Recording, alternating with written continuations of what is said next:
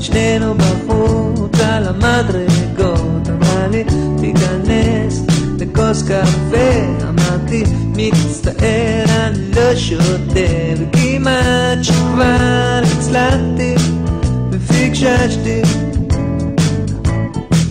עברו יומיים שלושה, התקשרה אליי, אמרה, אני פנויה, אולי תבוא אליי, יש לי חוליו אינגלזיס. אל תקליט, אמרתי, אני לא יודע ספרדית, וכמעט שכבר הצלחתי, ופיקששתי.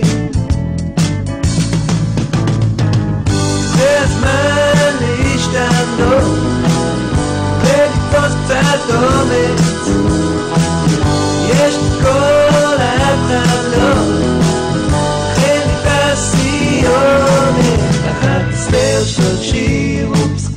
של יום. אני נכנס לפיג'מה, מתכונן לישון, היא דופקת בדלת, אני מופתע, אומר, אל תיכנסי, אני כבר במיטה, וכמעט שכבר הצלחתי,